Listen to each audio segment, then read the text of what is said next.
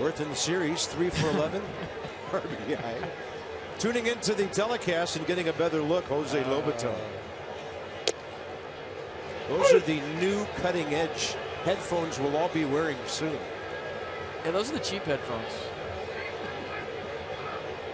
You get those anywhere. Nice of Jose to tune in.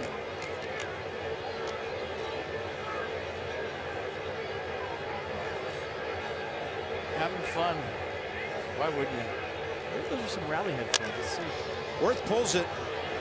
Charging, cutting it off. Murphy.